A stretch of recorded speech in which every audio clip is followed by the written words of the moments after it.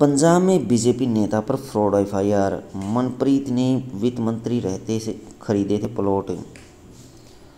पंजाब में vigilance bureau ने भाजपा नेता मनप्रीत बादल पर केस दर्ज कर लिया है। मनप्रीत बादल पर बठिंडा में प्लॉट की खरीद फरोख्त में फ्रॉड का आरोप है।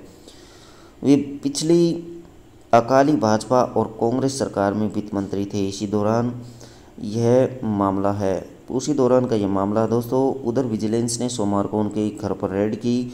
मनप्रीत बादल के अलावा उनके करीबी राजीव कुमार, विकास अरोड़ा, अमनदीप सिंह और Bathinda development authority superintendent Pankaj Kalia और एडीसी डेवलपमेंट विक्रमजीत सिंह शेरगिल पर केस दर्ज किया है। इस मामले में कारोबारी विकास अरोड़ा और राजीव के अलावा शराब ठेकेदार पर भी मुकदमा दर्ज किया गया है। मनप्रीत ने बठिंडा कोर्ट से अग्रिम जमानत मांगी है। सीएम मान पहले थे पार्टी में।